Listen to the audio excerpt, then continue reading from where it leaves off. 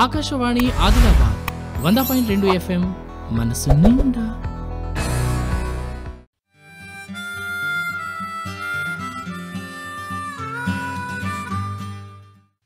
ఒక అడవిలా ఒక పెద్ద చెరుంటుండే.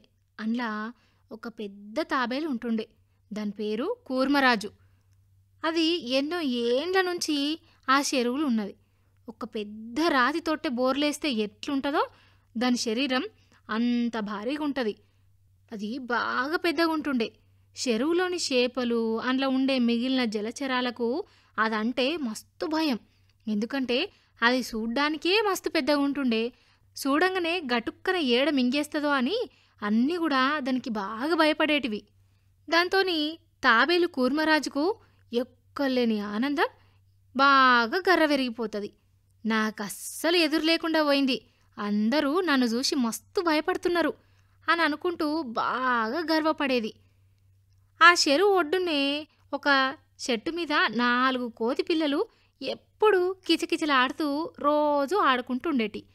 ఆ కోతి పిల్లలంటే కూర్మరాజు తాబేలుకు మస్తు చిరాకు. అవి వచ్చినాయంటే చాలు చిరాకు పడేది. రోజు గట్లనే ఆ చెట్టు మీద నాలుగు కోతి పిల్లలు కిచకిచలాడుతూ ఆడుకుంటా ఉండేటివి. ఒకరోజు బాగా కోపం వచ్చిన తాబేలు ఏంటి మీ గోల?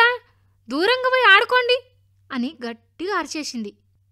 వెళ్ళినట్టే వెళ్ళిన కోతి పిల్లలు మళ్ళా కొంచెం సేపు అయినాక అక్కడికి వచ్చి ఆట మొదలుపెట్టినాయి ఆడ చెట్టు నీడకు చల్ల ఉండుడుకు తిండి కూడా మంచిగా దొరుకుడుకు అవి ఆన్నే ఆడుకోలా అనుకునేటి. గందుకే అది అరవంగానే పోయేటి మళ్ళా వచ్చి ఆడుకునేటివి. గిట్లా రోజు పని అవిటిది ఒకరోజు కోతులు ఆడుకుంటుండగా తాబేలుకు మస్తు కోపమొచ్చి దబదబా బయటకొచ్చి ఓసి మీ మొహాలు మండా? బుద్ధి జ్ఞానం లేదా? ఎన్నిసార్లు చెప్పాలనే మీకు? ఇంకోసారి గిడికొచ్చి గోల చేసిర్రా తాట తీస్తా.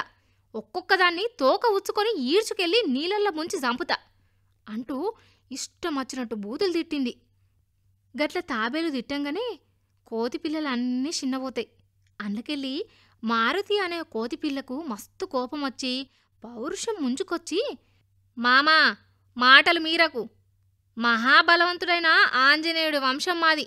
ఇంతసేపు పోనీలే అని నీ వయసును చూసి గౌరవం ఇచ్చిన గుర్తుంచుకో.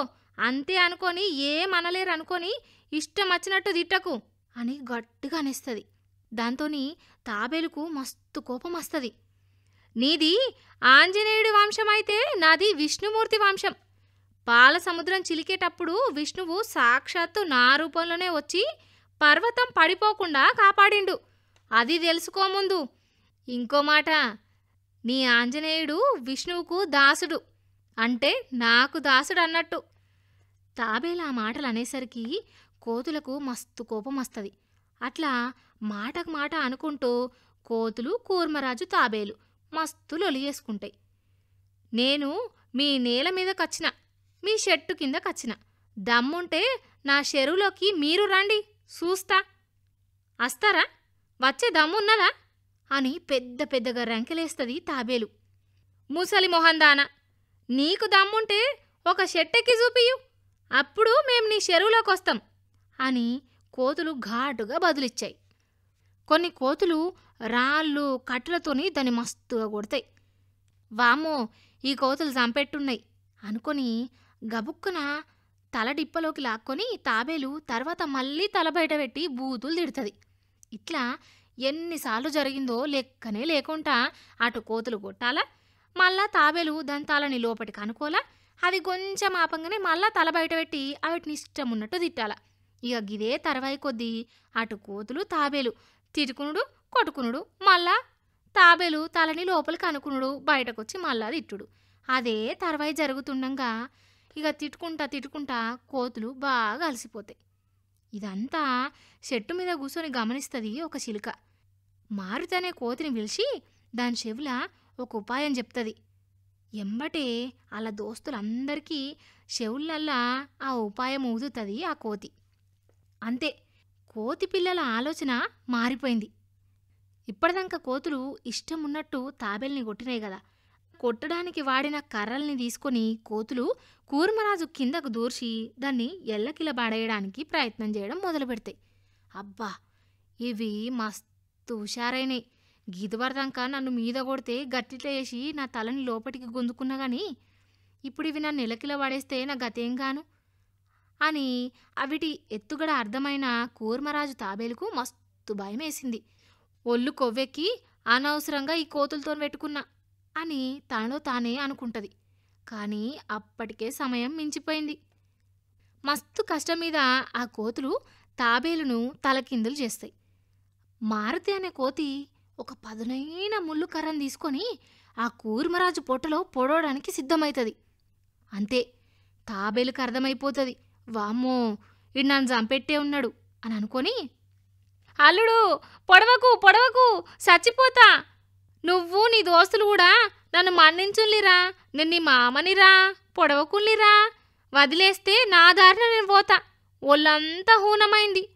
పిల్లలైనా నాకు మంచిగానే బుద్ధి చెప్పిండ్రు ఇంకోసారి మీ జోలికి రానురా అనుకుంటూ మస్తు బతిమిలాడుతుంది. మారుతికి జాలి అనిపిస్తుంది. పో మామా పో. ఇంకెప్పుడు మా జోలికి రాగు. మేము నీ జోలికి రాం. సరేనా? గట్లనే అని ఇంకోసారి మా జోలికి వచ్చినావు అనుకో గప్పుడు ఉంటుంది నీకు అని అంటాయి మళ్ళా మారుతి దోస్తులందరి సాయంతోని తాబేల్ని మళ్ళా తిరిగి బోర్లేసి చెరువులోకి సాగనంపుతుంది. ఎంతటి బలవంతుడికైనా ఏదో ఒక బలహీనత ఉండే ఉంటుంది. అది మాత్రం మర్చిపోవద్దు.